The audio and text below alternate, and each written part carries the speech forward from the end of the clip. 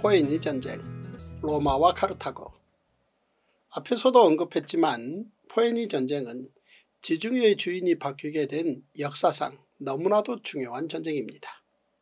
고대 근동은 그동안 아수르, 바벨론, 페르시아, 헬라가 제국의 변동을 이끌어왔고 지중해를 중심으로 한 해상권은 누가 뭐라 해도 페니키아를 빼고는 이야기할 수 없습니다. 그들 사이에서 로마는 신흥 세력 정도로 불리고 있었습니다.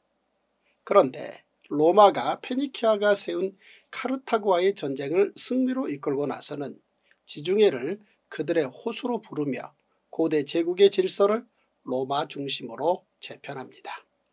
포에니 전쟁은 로마와 카르타고 사이에 3차에 걸쳐 120년간 벌였던 전쟁을 말합니다. 로마 말로 포에니는 페니키아라는 뜻이고 포에니 전쟁은 로마인들의 페니키아인들과의 전쟁이라는 뜻입니다.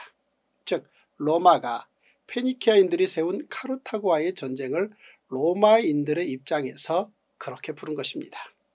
1차 포에니 전쟁은 BC 264년에서 241년 2차 포에니 전쟁은 BC 219년에서 201년 그리고 3차 포에니 전쟁은 BC 146년 카르타고의 멸망으로 끝납니다. 1차 포에니 전쟁이 발발하게 된 이유는 바로 메시나가 시칠리아의 최강국인 시라쿠사의 공격을 받자 로마 쪽의 도움을 구하면서 시작된 것입니다.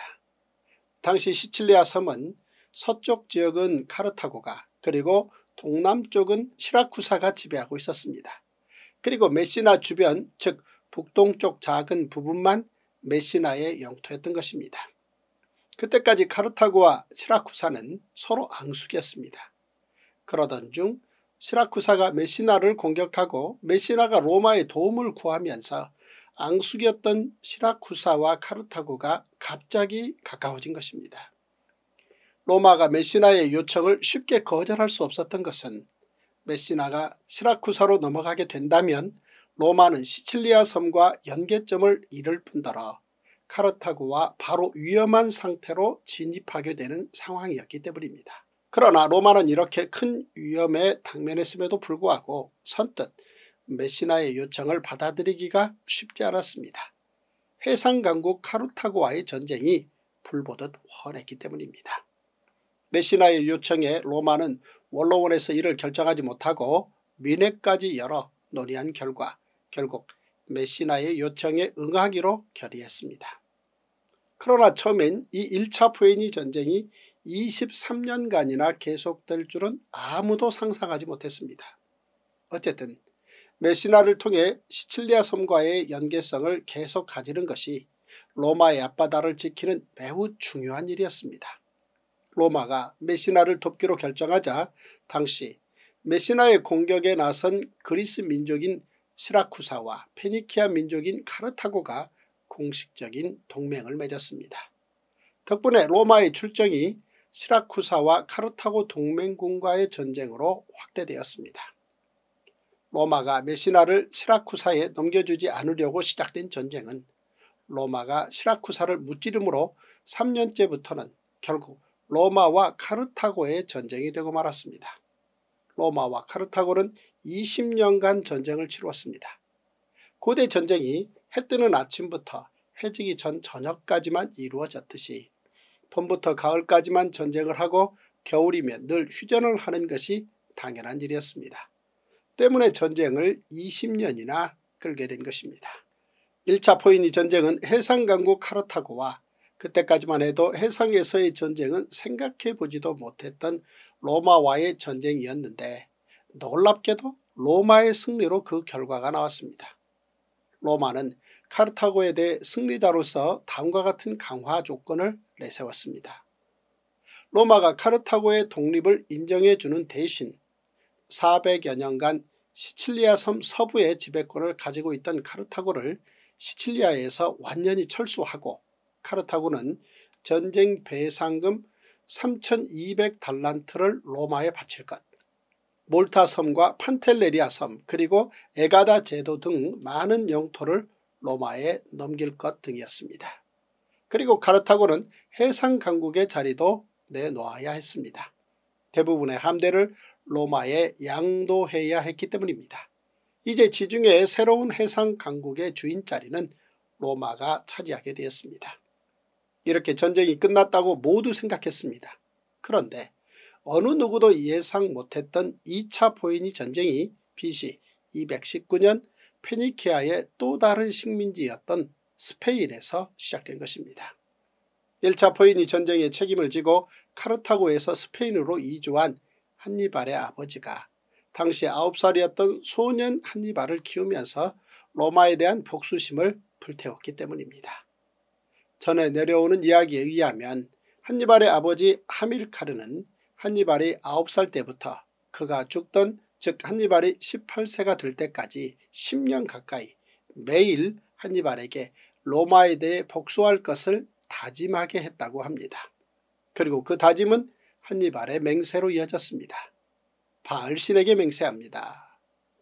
이세벨이 북이스라엘에 그렇게 열심히 전도했던 바알신앙이 그들의 후손에게 계속 전승되고 있었던 것입니다. 매일 바알에게 맹세하고 로마에 대한 복수를 꿈꾸며 한니발은 청년의 때를 기다렸던 것입니다.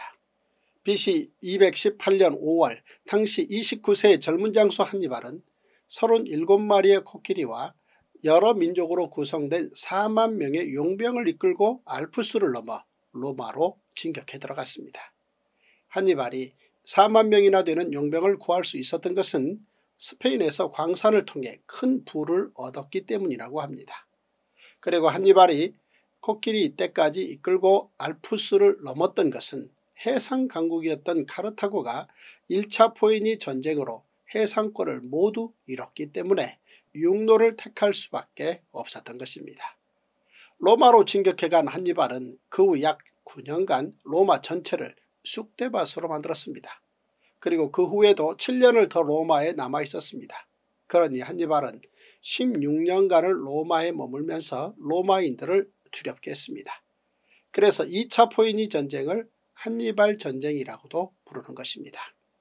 겨울이면 전쟁이 휴전에 들어가는 것이 상식이었던 시대에 알프스 산맥을 넘어 한겨울에 로마로 쳐들어가는 일은 어느 누구도 상상할 수 없었던 일입니다. 그러니 한겨울에 여러 부족들을 물리치며 코끼리까지 이끌고 알프스를 넘는 것은 최고의 장수 한니발에게도 쉬운 일이 아니었습니다. 한니발의 군대가 로마에 진입했을 때 그의 전력이 2만 6천 명으로 줄어 있었기 때문입니다.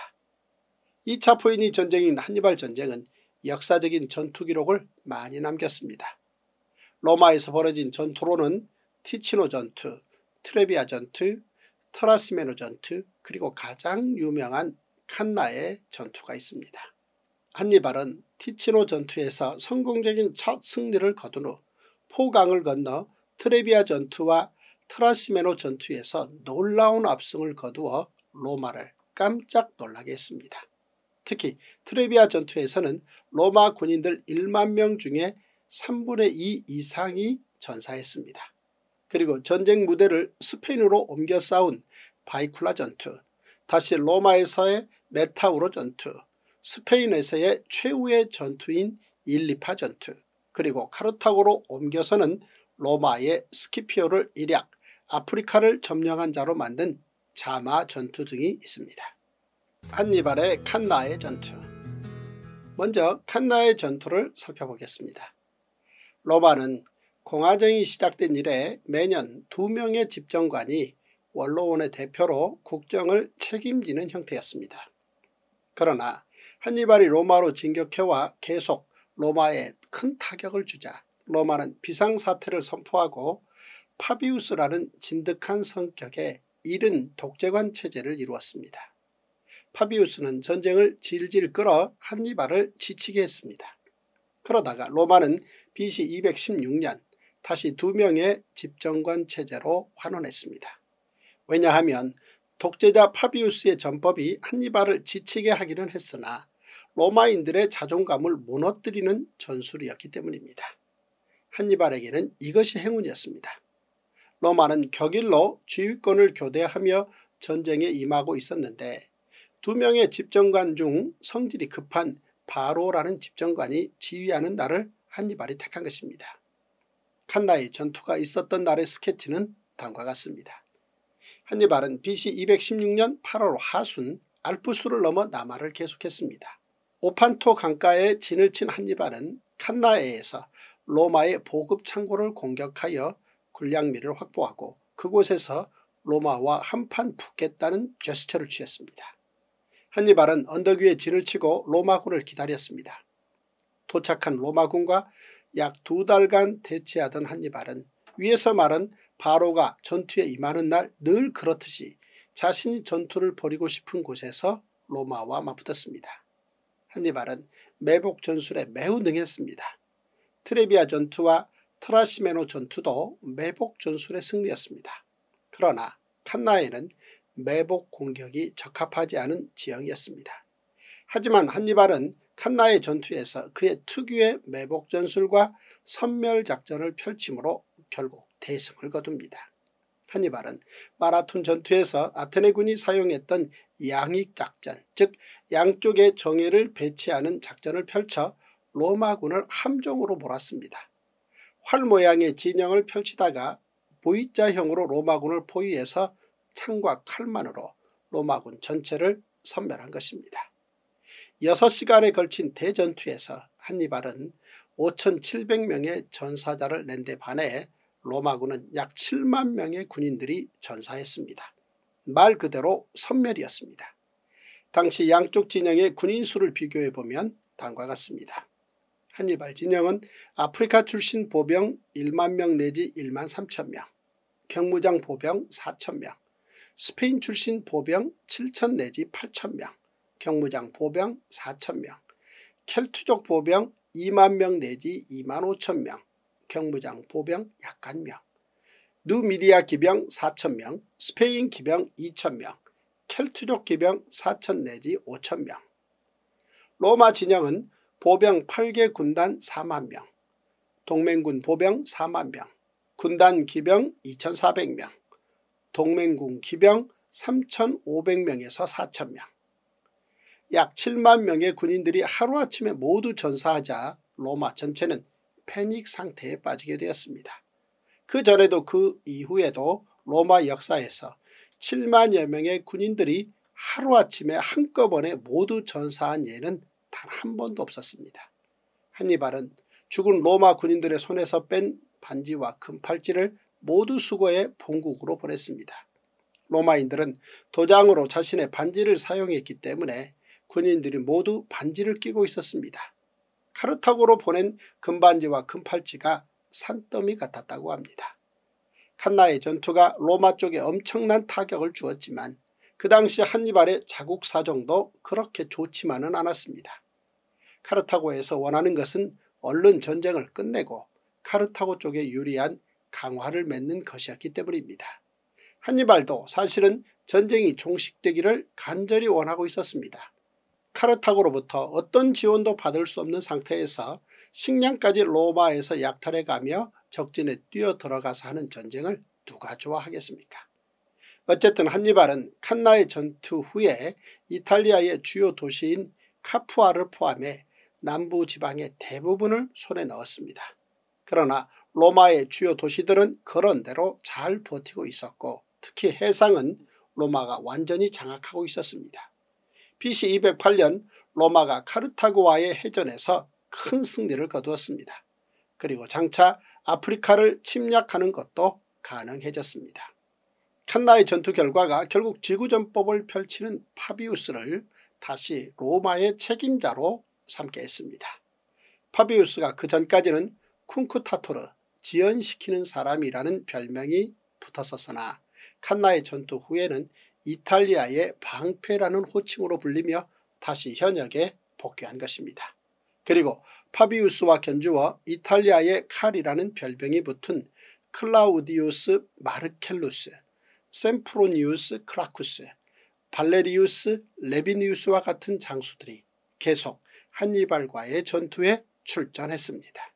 스키피오 아프리카누스의 출현 바이쿨라 전투, 메타우로 전투, 일리파 전투 한니발이 알프스를 넘어 로마로 들어와 로마를 쑥대밭으로 만든 지 9년이 지날 즈음 로마에서 위대한 장군이 한 명 출현했습니다.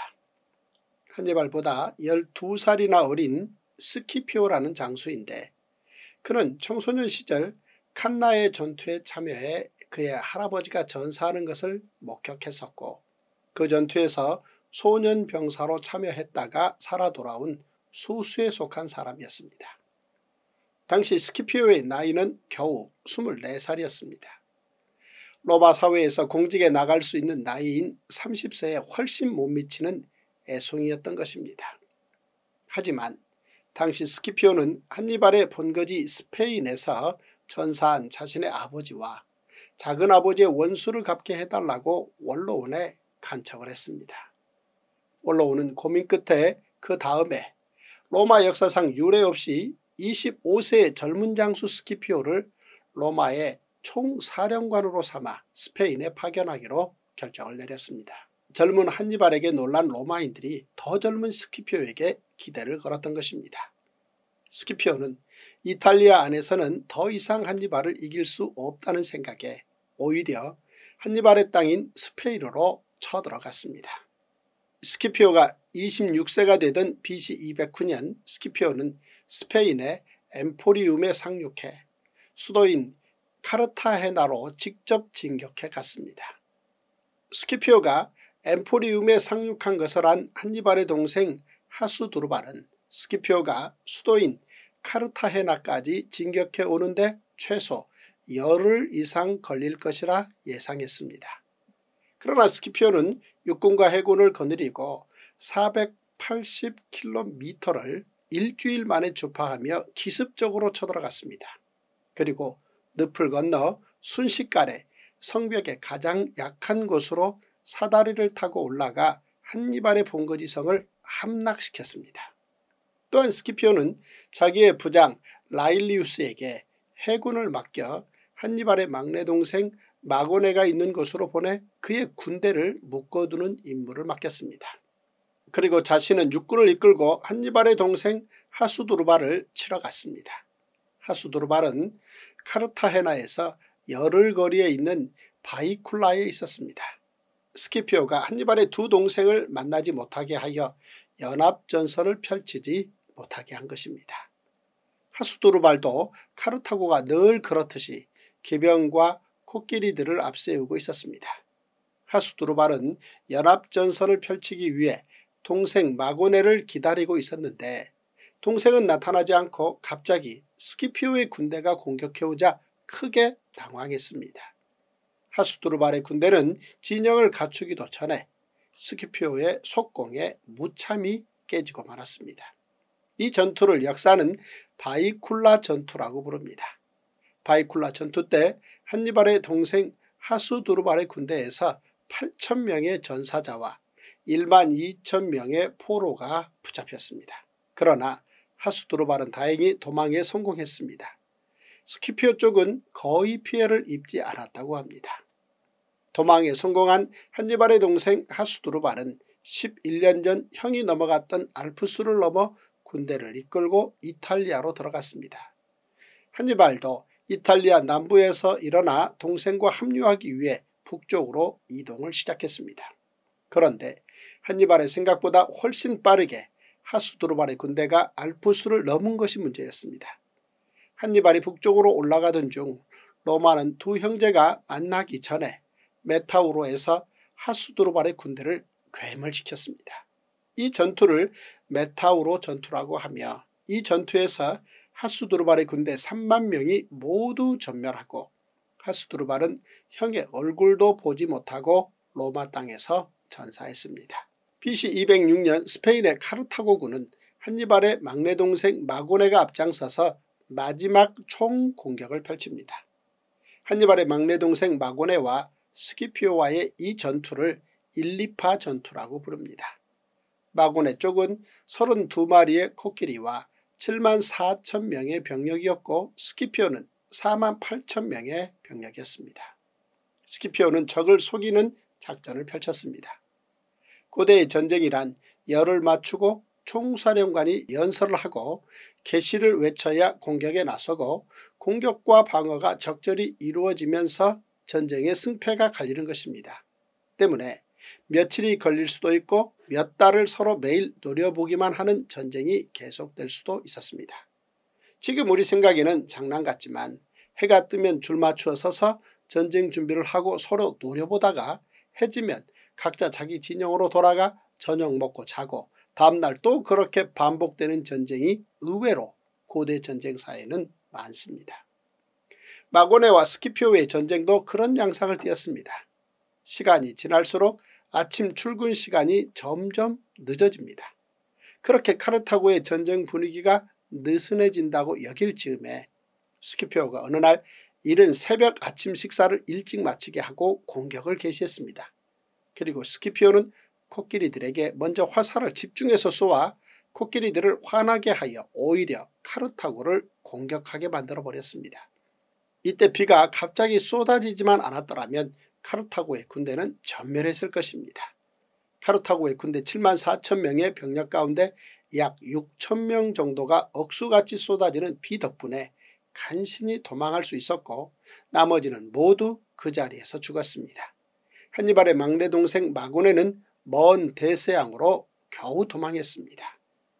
BC 205년 스키피오는 스페인에서 카르타고 세력을 완전히 쫓아버리고 로마로 돌아갔습니다.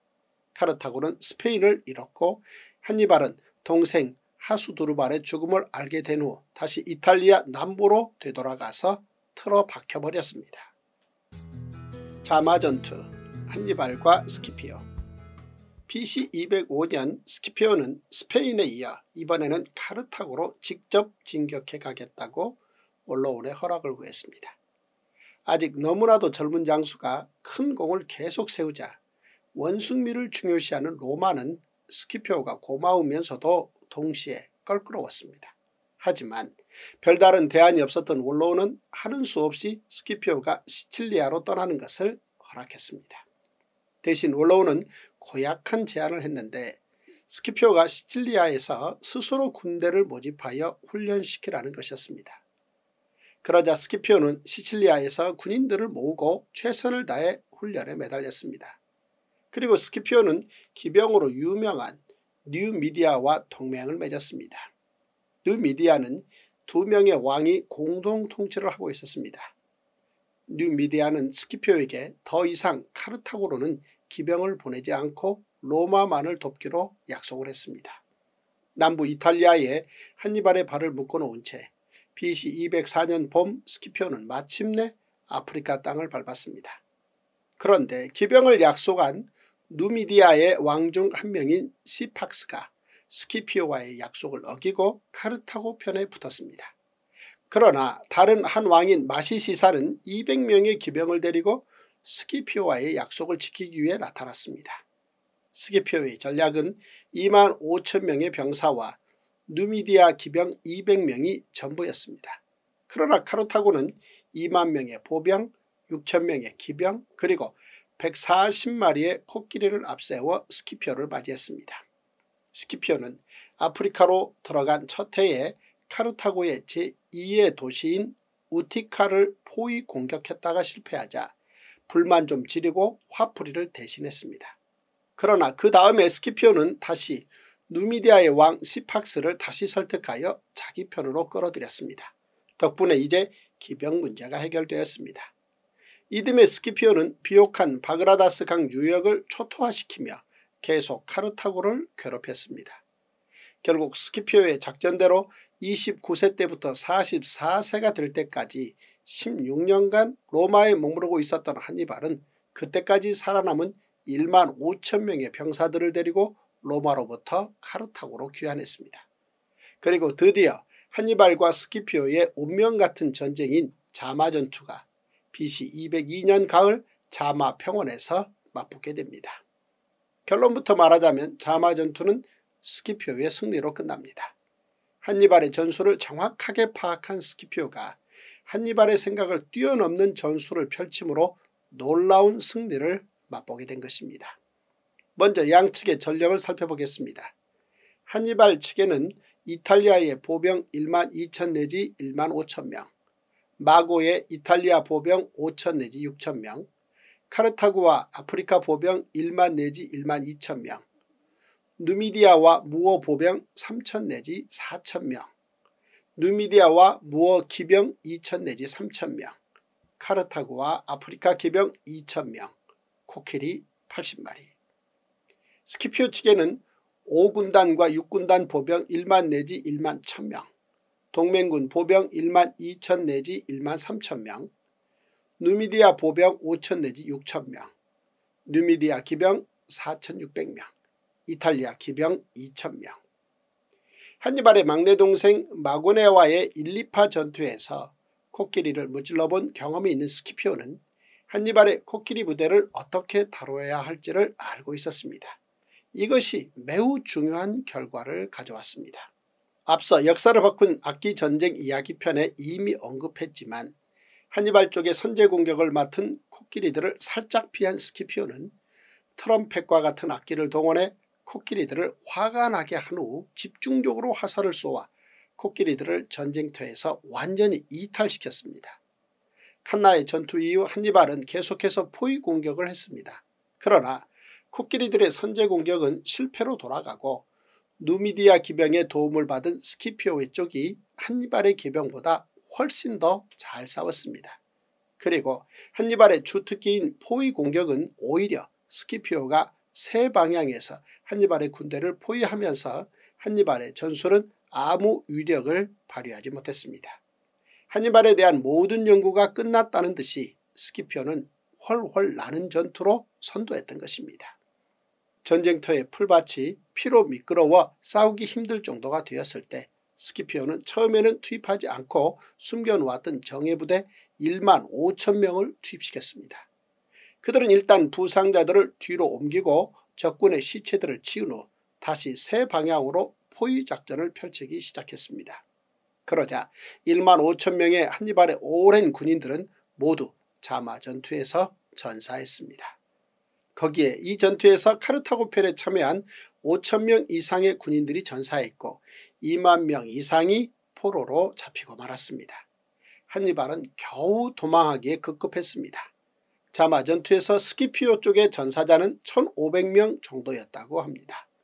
이리하여 시대의 명장 한니발은 사라지게 되고 스키피오는 원로원으로부터 아프리카를 제압한 자라는 존칭을 얻게 되어 스키피오 아프리카누스로 불리게 된 것입니다. 한니발을 물리친 스키피오에 대해 리델 하트라는 사람은 전쟁의 달인이 더 뛰어난 달인을 만났다라고 촌평했습니다. 로마 원로원은 이렇게 가끔 국가에 공이 큰 사람에게 존칭을 바치는 습관이 있습니다. 스키피오에게는 스키피오 아프리카누스를 그리고 로마의 초대 황제 옥타비아누스에게는 존엄한 자라는 뜻의 아우구스투스라는 존칭을 바쳤습니다. 아우구스투스는 우리 성경에 가이사 아구수도가라고 표현되어 있습니다. 존엄한 황제라는 뜻입니다. 로마 시대 전 제국의 호적을 조사하게 만든 가이사 아구수도는 바로 로마의 초대 황제 옥타비아누스를 일컫는 말입니다. 소금이 뿌려진 카르타고 2차 포이니 전쟁도 1차 포이니 전쟁과 마찬가지로 로마의 완승으로 끝났습니다. 1차 포이니 전쟁의 패배에 이은 2차 포이니 전쟁의 패배로 말미암아 카르타고는 스페인과 시칠리아 그리고 사르데니아 등 대부분의 영토를 잃게 되었고 자치는 인정되었으나 군대는 둘 수 없게 되었습니다. 그리고 다른 나라로의 침략도 불가능하게 되었습니다.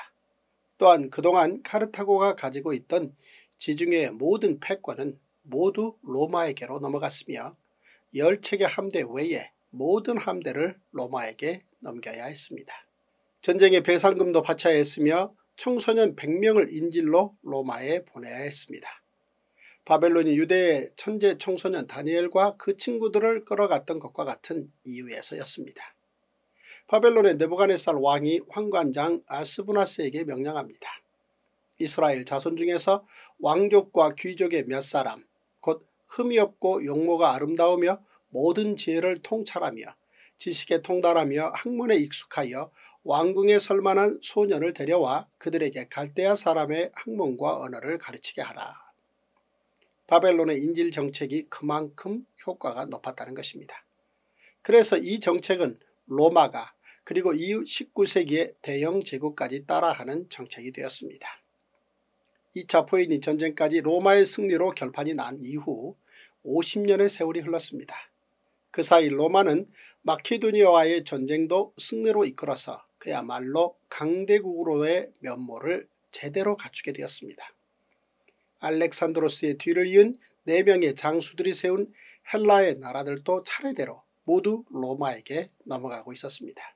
그런데 로마 원로원 의원 중 한 명인 카토라는 사람은 2차 포이니 전쟁과 마케도니아 전쟁의 승자인 스키피오 아프리카누스를 오히려 고발해서 그의 명예를 땅에 떨어지게 했습니다. 고발의 이유는 2차 포이니 전쟁 중 시리아의 왕에게서 받은 전쟁 배상금 500달란트를 스키피오가 착복했다는 것이었습니다. 어떤 이유에서건 공금횡령이라는 죄목은 누군가의 명예를 땅에 떨어뜨리는데 가장 교묘한 수단임에 틀림없었습니다. 스키피오의 공금횡령이라는 죄목의 고발사건은 국가 영웅의 자존심을 한없이 짓밟았고 스키피오의 건강까지 악화시키기에 충분했습니다. 카토는 스키피오 아프리카누스가 죽은 이후에도 계속해서 카르타고가 로마의 속국의 자리에 있지 않고 자치를 행사하는 것에 늘 불만을 품었습니다. 그래서 그는 올라온 회의에서 연설할 기회가 주어질 때마다 그래서 카르타고는 괴멸해야 한다라고 마쳤다고 합니다. 카토가 한 번은 카르타고로 시차를 나갔다가 무화과 열매를 가져와 올라온 회의 중에 시청각 자료로 활용하며 경고성 연설을 합니다. 이렇게 농사가 잘 되면 경제가 성장할 것이고 그러면 용병을 사서 카르타고는 또 로마를 공경에 빠뜨릴 것이다. 그러나 카르타고가 결국 로마에 의해 신의 저주를 받은 땅임을 드러내기 위해 소금까지 뿌려지면서 멸망하게 된 이유는 원로원 의원 카토의 집요함 때문만은 아니었습니다. 카르타고는 기병으로 유명했던 그들의 이웃 국가이자 라이벌인 누미디아가 로마의 지배하에서 오히려 농업국가로 변신해 놀라운 성장을 거듭하자 이를 참지 못하고 6만 명의 용병을 모집해 누미디아를 공격하려 했습니다. 바로 이 사건으로 문제가 발생하게 된 것입니다. 인간은 먼 나라에 관해서 관대하지만 가까운 나라에 대해서는 늘 촉각이 곤두세워지고 예민해지는가 봅니다. 누군가 한국 사람들은 배고픈 것은 잘 참지만 배 아픈 것은 참지 못하는 습성이 있다고 말했는데 이는 한국 사람만의 특성이 아닙니다. 세계 어느 민족이나 카르타고가 이웃나라인 누미디아에 대해 참지 못했던 것처럼 가까운 이웃이나 주변국에 대해서 예민한 것은 오히려 당연한 것입니다. 2차 포이니 전쟁 후 카르타고는 로마와의 강화 조약에서 다른 어떤 나라와도 전쟁을 하지 않겠다고 약속했었기 때문에 6만 명의 용병을 구한 것과 누미디아에 대한 공격을 감행하려고 한 것은 약속 위반이 되는 사항이었습니다. 전쟁 후 체결된 강화조약을 어긴다는 것은 다시 전쟁으로 돌아가겠다는 것을 의미한다는 것을 고대 사람들은 누구나 다 알고 있었습니다. 카르타고에 대해 로마가 즉각 반응했습니다. 카르타고로 진격을 결의한 것입니다. 그러자 카르타고가 변명을 하며 로마와는 일절 싸울 마음이 없고 다만 누미디아와 감정 싸움이라는 것을 밝히기 위해 최선의 노력을 다했습니다. 그러자 로마는 카르타고에게 모든 무기를 반납하라는 명령을 내렸습니다. 이에 카르타고는 순순히 로마가 요구하는 대로 준비했던 모든 무기를 로마에 바쳤습니다. 그리고 카르타고는 잘못을 구하기 위해 로마에 사절을 보냈습니다. 그런데 공교롭게도 그의 BC 148년 그리스의 코린트에서 로마에 대한 엄청난 반란이 일어났습니다. 그동안 그리스 문화를 존중해왔던 로마는 코린트에 대해서는 무자비하게 대응하기로 마음먹었습니다. 다시는 반란의 싹이 자라지 않게 하기 위함이었습니다. 나름대로 관용으로 제국을 이끌었다고 생각한 로마는 그들의 관용에 대해 반란으로 맞선 코린트를 용서할 수 없다고 판단했던 것입니다. 로마가 그리스로 반란을 진압하기 위해 군대를 보내려고 준비하던 때에 카르타고의 사절단이 로마에 있었습니다. 그리스 코린토의 반란이 카르타고에도 악영향을 끼친 것은 당연합니다. 로마는 카르타고에 대해서도 강경한 입장을 취하기로 결심했습니다. 로마는 그리스로 군대를 출동시키면서 카르타고 사절단에게 카르타고를 파괴하고 바다에서 15km 안쪽으로 들어가 곧바로 배를 띄울 수 없는 곳에 새로 수도를 삼으라는 명령을 전했습니다. 그런데 카르타고는 원래 페니키아가 세운 도시로 그들이 바다에서 떨어져 산다는 것은 상상할 수도 없는 독특한 민족이라는 데에 문제가 있었습니다. 과거 조선 말기 우리나라 사대부들이 상투를 자르느니 목을 치라고 했던 것과 비슷한 경우라고 할 수 있을 것입니다. 로마의 요구를 가지고 돌아온 카르타고의 사절단은 분노한 카르타고 시민들에 의해 모두 살해당했습니다. 그리고 카르타고는 농성전에 돌입했습니다. 배를 곧바로 탈 수 없는 곳에 사느니 죽음을 택하겠다는 것이었습니다. 카르타고의 모든 여인은 머리를 짧게 잘라 머리털을 보라살에 불을 잘 붙게 하는 무기로 사용하겠습니다. 그 정도로 결연한 의지를 보여주며 로마와 최후의 결전에 돌입한 것입니다. 그 농성전이 3년이나 계속되었습니다. 그런데 그때 마침 그리스 위쪽 마케도니아에도 로마에 대한 반란이 일어났습니다. 그러자 로마는 그 기회에 그리스의 코린트, 마케도니아 그리고 카르타고를 모두 처참하게 짓밟게 된 것입니다. 먼저 그리스 코린트의 온 도시가 철저히 파괴되었고 주민들은 모두 노예로 팔렸으며 로마 군인들에게 마음껏 약탈이 허용되었습니다. 코린트 도시 전체가 완전히 말살되고 만 것입니다. 이후 100여 년이 지나 사도 바울이 코린트에 교회를 세우고 고린도 전서와 고린도 후서를 기록할 때의 코린트는 그리스의 도시국가가 아닌 로마에 의해 완벽하게 새롭게 세워진 로마 스타일의 항구도시 코린트였습니다. 때문에 현재 코린트는 그리스의 흔적이 전혀 없는 완벽한 고대 로마의 도시 모습이라고 할 수 있습니다. 이어 마케도니아의 반란도 로마에 의해 진압되어 그동안 용인해주던 마케도니아의 자치도 빼앗기고 결국 로마의 속주로 전락되었습니다. 이제 마지막으로 남은 것은 카르타고뿐입니다. 코린트와 마케도니아의 반란을 진압한 로마는 농성 3년째에 접어든 카르타고에 대해 본격적인 공격에 나서 바다 쪽부터 불을 질러나갔습니다. 그 불은 일주일간 계속되었다고 합니다. 온 성이 불타고 남자들은 죽임을 당하고 여자들은 폭행당하고 어린 아이들과 노인들은 모두 붙잡혔습니다. 예루살렘 성이 바벨론에 의해 무너졌을 때 예레미야가 묘사했던 무너진 성의 모습과 같았습니다. 공성전 후에 성들의 최후가 대부분 이러했습니다. 예레미야 52장 13절에서 15절입니다. 여호와의 성전과 왕궁을 불사르고 예루살렘의 모든 집과 고관들의 집까지 불살랐으며 사령관을 따르는 갈대아 사람의 모든 군대가 예루살렘 사면 성벽을 헐었더라. 사령관 느부사라단이 백성 중 가난한 자와 성중에 남아있는 백성과 바벨론 왕에게 항복한 자와 무리의 남은 자를 사로잡아갔고 6만 명의 카르타고 주민들 가운데 1만 명이 죽고 5만여 명이 모두 노예로 팔려나갔습니다. 그리고 로마는 카르타고 전체에 소금을 뿌렸습니다.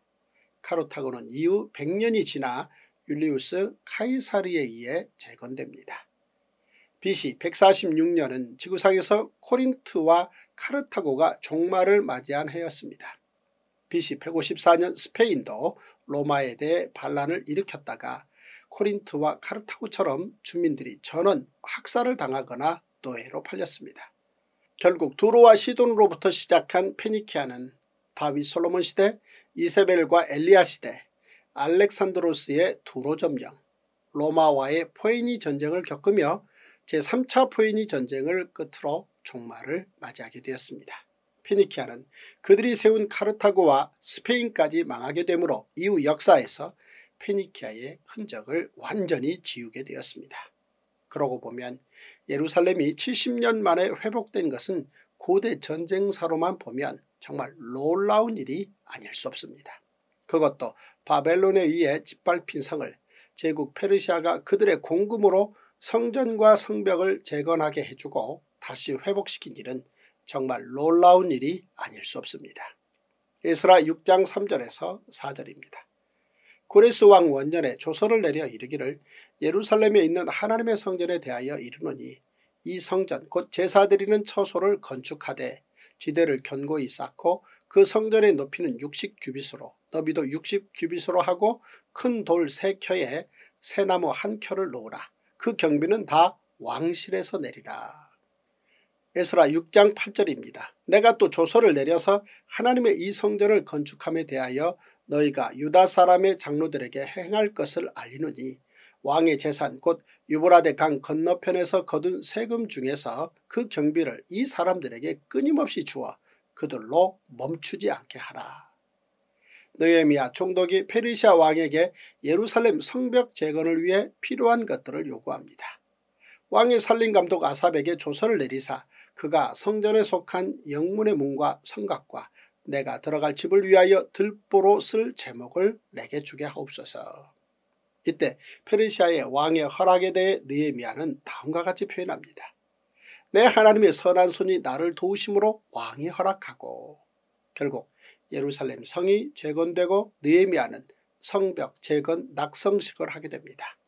느헤미야 12장 27절입니다.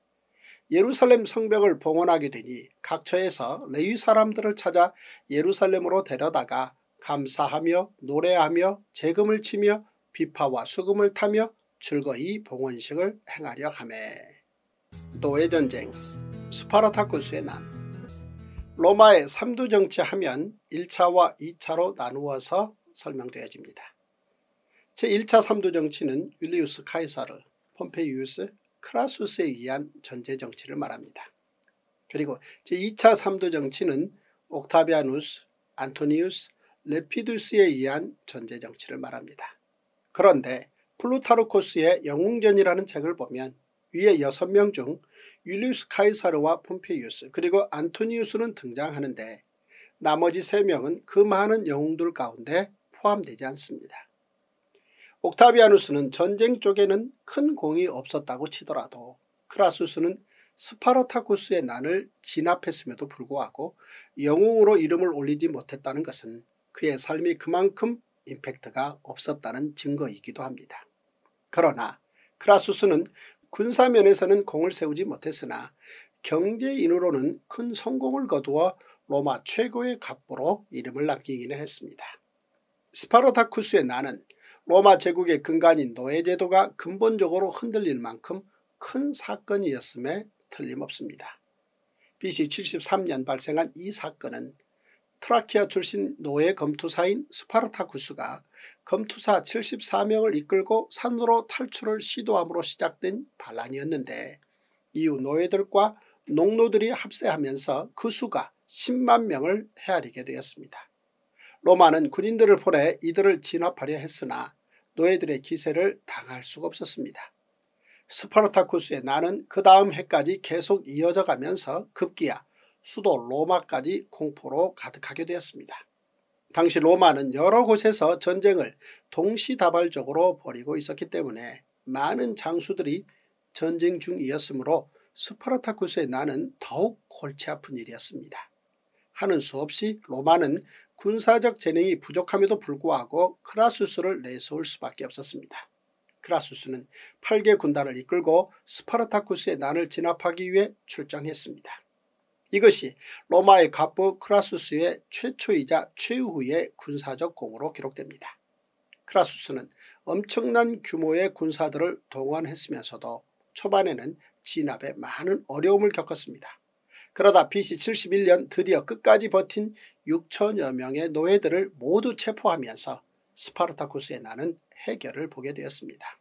끝까지 저항하다가 체포된 6천여 명의 노예들은 우리나라로 치면 경부고속도로와 같은 아피아 가도에 양쪽으로 3천개씩 십자가를 줄지어 세워 6천여 명 모두 십자가 처형으로 사형에 처해졌습니다. 이 십자가 처형은 크라수스의 명령으로 집행된 것으로 전해집니다. 스파르타쿠스의 난이라고 부르는 이 사건은 정식으로 로마 군인들이 출전한 전투였습니다. 이후 신약성경을 보면 오네시모라는 노예가 소아시아로부터 로마까지 탈출한 사건이 기록되어 있는 것을 보게 됩니다.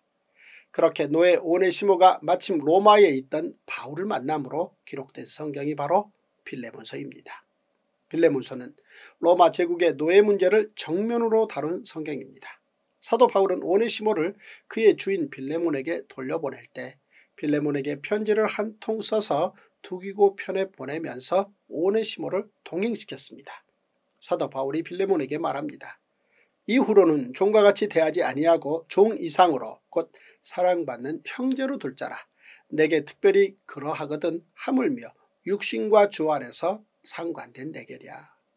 사도 바울은 노예 오네시모를 그의 주인에게 돌려보내면서 노예를 주 안에서 형제로 받아들이라는 획기적인 제안을 합니다. 이는 로마 제국 아래에서 스파르타쿠스의 난을 생각한다면 상상할 수도 없는 일입니다. 고대의 수많은 전쟁 가운데 스파르타쿠스의 난은 로마 군인들과 노예로 삶을 살아야 했던 사람들의 목숨을 건 하나의 전쟁이었습니다. 유대전쟁 로마의 예루살렘 점령 아수르의 공격에 살아남았던 예루살렘 성이 바벨론에 의해 완전히 초토화되었다가 70년 만에 페르시아에 의해 재건되었습니다. 그럼에도 예루살렘은 계속 페르시아의 속국으로 있었습니다. 그러나 페르시아가 헬라에 의해 멸망하자 예루살렘도 헬라 제국의 것이 되고 말았습니다. 헬라 제국의 프톨레미 왕조에 이어 셀루커스 왕조의 지배를 받던 예루살렘은 셀루커스가 로마와 싸우는 동안 잠시 독립을 쟁취합니다. 이때가 바로 유대의 마카비 혁명 시대와 하스몬 왕조 때입니다. 그러나 하스몬 왕조의 내분이 결국 내전으로 소용돌이 치게 되자 하스몬 왕조에 의해 유대교로 개종하고 하스몬 왕조의 총리를 맡고 있던 이둠의 가문 헤롯의 아버지 안티파트는 나라를 로마에 넘기는 것이 낫겠다는 판단을 합니다. 그래서 BC 63년 안티파트는 로마의 장수 폼피우스와 협정을 맺어 유대를 로마의 속국이 되게 했던 것입니다. 유대는 로마의 지배하에 들어가면서 총독과 분봉왕이 함께 다스리는 체제가 되었습니다. 로마에서 파견된 총독으로는 폰티오스 필라투스, 성경에는 빌라도, 분봉왕은 안티파트의 후손들이 유대를 통치했습니다. 특히 유대 출신이 아닌 헤롯은 유대 민족의 환심을 사기 위해 예루살렘 성전을 재건축하며 많은 건축물들을 유대에 세웠습니다. 이후 로마가 파견한 총독은 사도 바울 때의 펠릭스에 이어 페스투스, 알비누스 그리고 플로루스 등이 있었습니다.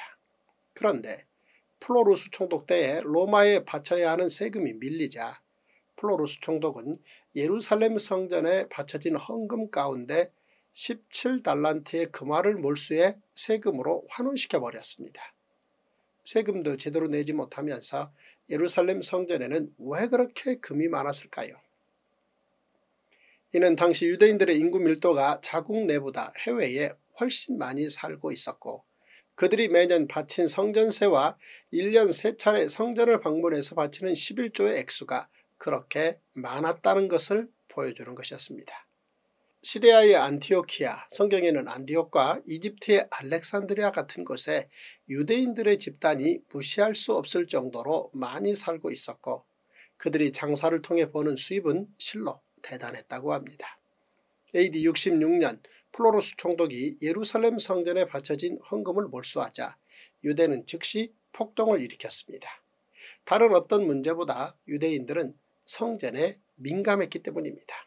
이는 플로루스 총독이 유대에 대한 이해가 너무 부족했다고 밖에 생각할 수 없습니다. 위에서 언급한 펠릭스에서부터 플로루스 총독까지 4명의 총독은 모두 네로 황제가 파견한 총독들이었습니다. 유대의 반란 소식을 들은 네로 황제는 즉시 시리아의 캐스티우스 칼레스 총독을 예루살렘으로 파견했습니다. 그러나 예루살렘 성을 점령하고 있던 유대인들의 강경한 대응에 캐스티우스 칼레스 총독은 5300명의 보병과 380개의 기병 전사자를 내고 시리아로 돌아갈 수밖에 없었습니다. 그리고 건강이 좋지 않았던 캐시티우스 칼레스 총독은 안티오키아로 돌아가자마자 곧 죽고 말았습니다. 이제 로마와 죽을 각오로 싸워야 하는 유대인들은 젊은 제사장 요세푸스를 예루살렘에서 갈릴리로 보내 갈릴리를 엄호하게 했습니다. AD 67년 네로 황제는 사태의 심각성을 인식하고 당시 매우 용감한 장군으로 인정받던 베시파시아누스와 그의 아들 티투스를 예루살렘으로 보내 예루살렘을 완전히 함락시킬 것을 명령했습니다. 베스파시아누스는 시리아에서 티투스는 이집트에서 각각 예루살렘으로 군대를 데리고 함락작전을 벌이기 위해서 모였습니다. 그들은 우선 요세푸스가 지키고 있던 갈릴리를 공격했습니다. 갈릴리는 47일간 버티다가 결국 로마에 항복하고 말았습니다. 갈릴리 전투에서 유대 쪽의 전사자는 4만 명이었고 포로는 1200명이었다고 합니다. 이때 요세푸스는 베스파시아누스와 그의 아들 티투스가 장차 로마의 황제가 될 것을 예언하는 덕분에 목숨을 구하게 되었고 그때 로마군 사령부에 머물면서 요세푸스는 그의 역작 유대 전쟁사를 집필했습니다. 요세푸스와 함께 갈릴리의 지도자였던 요한네스는 예루살렘으로 도망했고 AD 67년에 갈릴리 전체가 로마의 손에 넘어가고 말았습니다. 요한네스는 계속해서 예루살렘에서 유대의 군대를 이끌었고 이후 기스칼라로 그리고 키테사로 옮겨가며 끝까지 저항했습니다. 그 사이 로마에서는 다섯 번째 황제인 네로 황제가 자살하고 1년 반 사이에 군인 출신들인 갈바, 오토, 비텔리우스 이렇게 세 명의 황제가 나타났다가 모두 실각되었습니다. 베스파시아누스는 그의 아들 티투스를 로마로 보내 로마 상황을 알아보게 했습니다. 그 사이 약 1년 반 동안 로마와 유대는 본의 아니게 휴전 상태를 맞았던 것입니다. AD 69년 예루살렘에서 전쟁이 재개되었을 때에 베스파시아누스는 요세푸스의 예언대로 로마의 황제로 추대되어 로마로 돌아갔습니다. 그리고 그의 아들인 티투스가 남아서 유대전쟁을 지휘했습니다. AD 70년 티투스는 5개월간의 공성전을 거치며 토성까지 쌓아 마침내 예루살렘 성을 점령했습니다. 이 전쟁에서 예루살렘 성전은 불타고 보물은 약탈당했으며 유대 지도자 요하네스는 로마로 압송되었습니다. 그리고 끝까지 마사다에서 죽기로 항전했던 유대 전사들도 마침내 AD 73년에서 74년에 모두 점령당했습니다. 이는 바벨론에 의해 예루살렘 성이 완전히 초토화된 일의 두 번째였습니다. 티투스에 의해 예루살렘 성이 함락될 당시 성 안에는 유월절을 지키기 위해 해외에서 예루살렘을 방문한 디아스포라 유대인들로 가득 차 있었습니다. 그래서 피해가 더 클 수밖에 없었습니다. 이때 예루살렘 성 공성전에서 최소한 100만 명 이상이 사망한 것으로 기록되고 있습니다.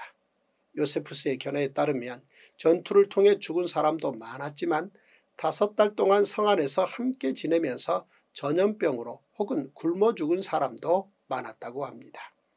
AD 70년 예루살렘이 완전히 초토화되고 난 후 유대인들이 그동안 예루살렘 성전에 바쳤던 성전세는 유대인세라는 이름으로 로마에 바치게 했고 페르시아 제국에 의해 되살아났던 즉 대지사장 제도와 재판권으로 예수님을 처형하기로 결정했던 사내들인 공회까지도 강제로 폐지되었습니다. 그리고 예루살렘에 군단이 거주하게 되었습니다. AD 70년 예루살렘이 티투스에 의해 완전히 함락된 이후 AD 116년 트라야누스 황제가 파르티아 원정에 나섰을 때 유대가 또다시 반란의 기미를 보인 적이 있습니다. 그러자 AD 130년 하드리아누스 황제는 예루살렘에서 유대인들을 완전히 추방하고 유대교를 금하지는 않았지만 유대교를 멸시하기 시작했습니다. 때문에 공식적으로 유대가 문을 닫은 연도는 AD 70년이지만 실제적으로 유대가 전 세계의 디아스포라로 흩어지게 된 것은 AD 130년입니다. 이때 이후로 유대는 나라 없는 민족으로 전 세계를 떠돌다가 1948년 이스라엘이라는 이름의 나라를 다시 세우게 된 것입니다. 로마 제국과 기독교의 전쟁 로마의 5대 황제 네로 때의 로마 대화제는 대제국 로마와 기독교의 전쟁이 발발하게 된 중요한 사건이었습니다. 당시 네로 황제의 부인은 포파이아라는 여인이었는데 그 여인의 보석을 제공하는 장사꾼들이 바로 유대인이었다고 합니다. 로마 대화제 사건에서 유대인들은 포파이아 덕분에 화를 면했는데 대신 기독교인들이 방화범으로 몰리면서 로마에서는 기독교인들에 대한 전쟁 즉 박해가 시작된 것입니다. 안 그래도 이벤트에 강한 네로는 온갖 눈요깃거리를 다 동원해 기독교인들을 잔인하게 죽였습니다. 타케투스의 기록에 의하면 야수의 모피를 뒤집어 쓰게 하고 개에게 물려 찢겨 죽이게 했다. 십자가에 붙잡아 매고 혹은 불에 타기 쉽게 만들어 놓고 밤에 등불 대신 불태웠다 등 온갖 잔인한 사형 방법들을 소개하고 있습니다. 네로의 기독교에 대한 박해는 무엇보다도 초기 기독교의 지도자들을 잔인하게 살해했다는 데에 있습니다. 신약성경 13권의 저자이자 기독교의 신학을 정립한 사도 바울을 비롯해 사도로 활동했던 예수님의 제자들을 죽임으로 기독교를 뿌리채 흔들려 했습니다. 그 기독교는 콘스탄티누스 황제가 AD 313년 기독교를 공인하기까지 수많은 박해를 당해야만 했습니다. 해뜨기 직전이 가장 어둡듯이 특히 콘스탄티누스 황제 직전의 디오클레티아누스 황제 때에는 기독교의 박해가 극에 달해 교회의 토대부터 모두 파괴되었고 십자가와 성경은 모두 몰수당해 태워졌습니다. 교회의 재산 또한 모두 몰수해서 경매에 붙였으며 기독교인들은 법에 의해 어떤 보호도 받을 수 없도록 조치했습니다. 또한 기독교인이라고 소문만 나도 잡혀가 고문을 당했으며 로마의 신들에게 절하게 하는 의식에 강제로 잡혀가 이를 실행하게까지 했습니다. 이때 디오클레티아누스 황제를 보필했던 콘스탄티누스는 이 모든 것을 함께 시행해야만 했습니다. 영국에서 태어난 콘스탄티누스는 어린 시절 아버지에게 버림받고 어머니와 단둘이 영국에서 살았습니다. 콘스탄티누스는 로마의 장군인 콘스탄티누스의 아버지가 영국에 머무는 동안 사랑에 빠졌던 여인과의 사이에서 태어났습니다. 아버지가 얼마 후 로마로 돌아가 황제의 사위가 되었기 때문에 콘스탄티누스와 그의 어머니를 돌보지 못했던 것입니다. 그런데 콘스탄티누스의 어머니 헬레나는 기독교인이었습니다. 때문에 아마도 콘스탄티누스도 최소한 기독교인은 아니더라도 어머니를 존중해 기독교를 긍정적으로 여겼으리라 생각됩니다. 이후 콘스탄티누스는 로마로 가서 아버지 아래에서 군사훈련을 받고 전쟁에 나가 큰 공을 세우고 로마의 유력한 장군의 자리에 올라 결국은 부정제를 거쳐 정제의 자리 즉 황제의 자리에 오르게 된 것입니다. 콘스탄티누스는 디오클레티아누스 황제의 부제의 자리에 있으면서 기독교를 극심하게 탄압할 때 모든 것을 참고 때를 기다렸습니다. 그리고 마침내 AD 306년 로마 황제 자리에 올랐습니다. AD 64년 로마 대화제 사건 이후 약 240여 년간 계속되었던 로마의 기독교 박해 로마와 기독교의 치열한 전쟁이 끝나가고 있었던 것입니다.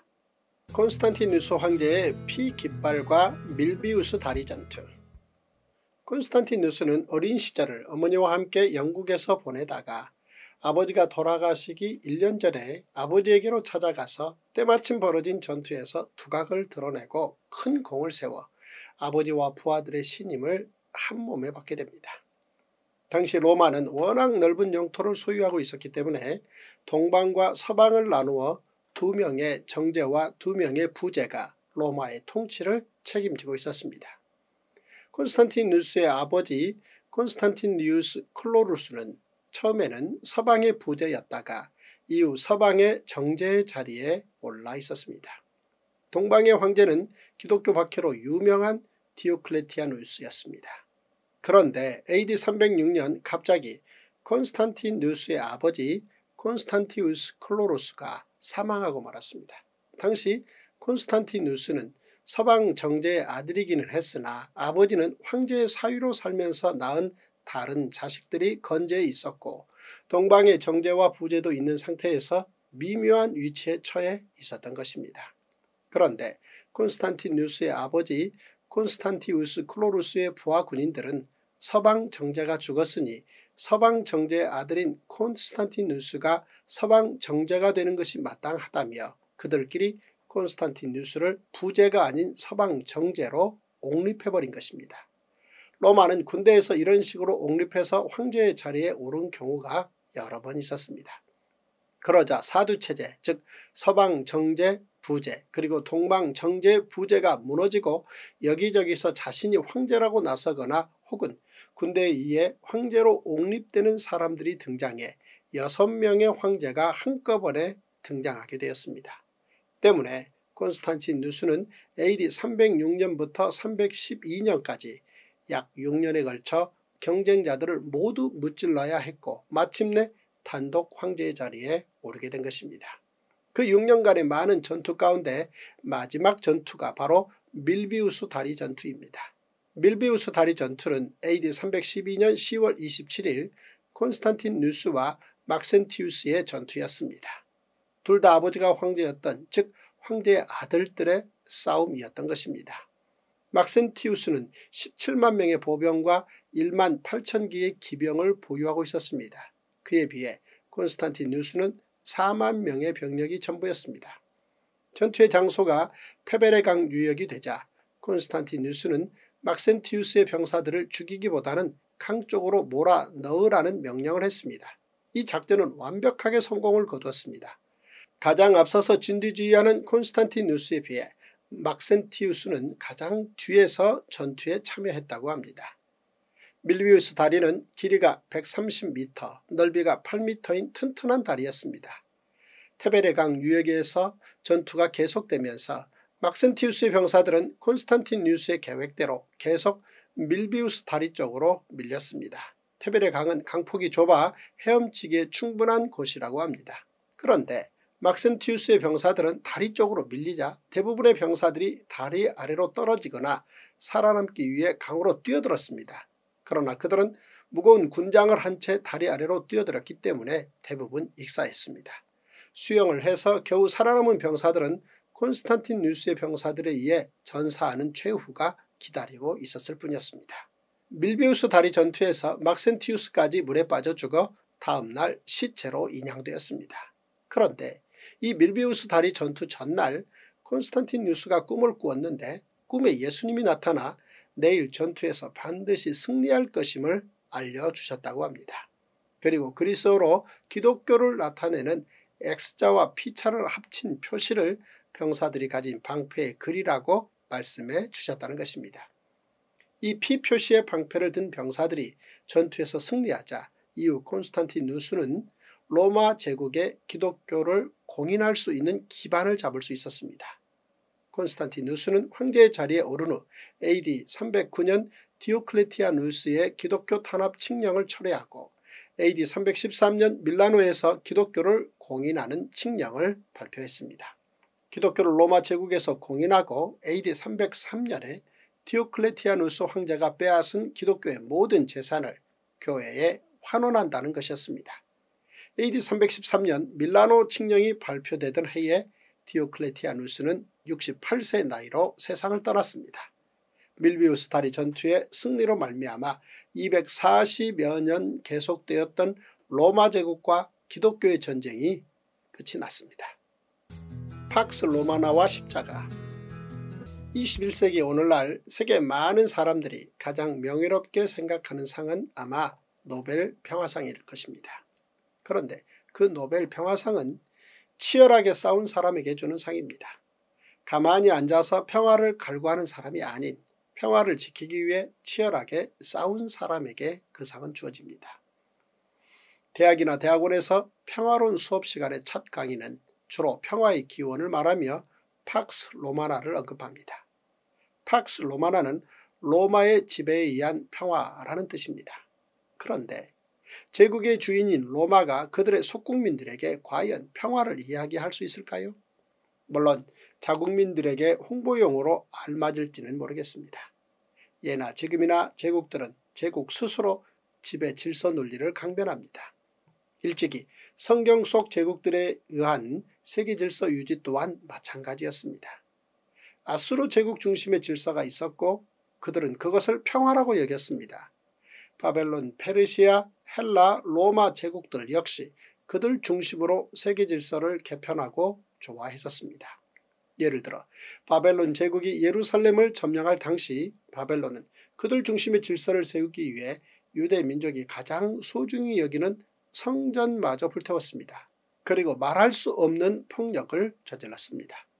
또한 페르시아 제국이 바벨론을 점령한 후 바벨론이 반란을 일으키자 그 반란을 진압하는 과정에서는 반란 주도자 3천명을 말뚝에 박아 죽이며 페르시아에 복종하게 했습니다.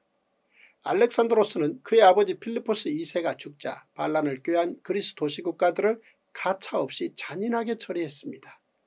헬라 제국 중심의 질서에 복종하라는 것이었습니다.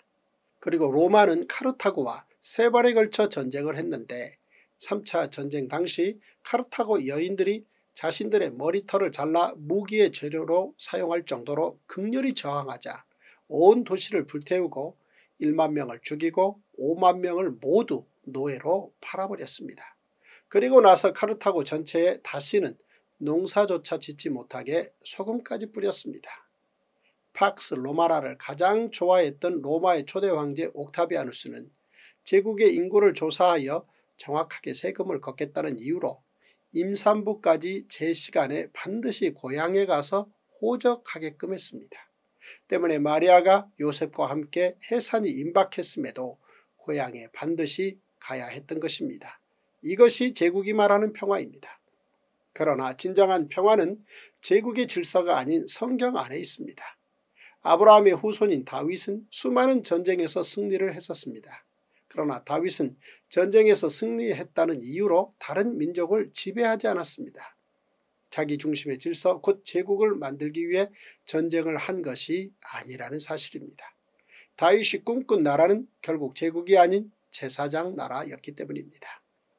제국도 세계적이고 제사장 나라도 세계적입니다. 그런데 제국이 아닌 하나님 나라를 꿈꾸신 예수 그리스도가 십자가를 지심으로 진정한 하나님의 평화가 이 땅에 이루어졌습니다. 십자가는 하나님께서 인간의 죄를 인간들에게 돌리지 않고 그의 아들에게 돌린 것입니다. 예수 그리스도는 이를 위해 땀방울이 핏방울이 되기까지 기도하시며 이 싸움에서 승리하셨습니다. 그 치열한 싸움에서 끝내 이기심으로 끝까지 지신 것이 바로 십자가입니다. 그래서 하나님과 인간 사이에 진정한 평화를 만드신 것입니다. 그리고 이 평화는 팍스 로마나 차원의 평화가 아닌 어떤 한 개인, 한 나라, 한 민족이 아닌 시공을 초월한 모든 인류를 위한 평화였습니다.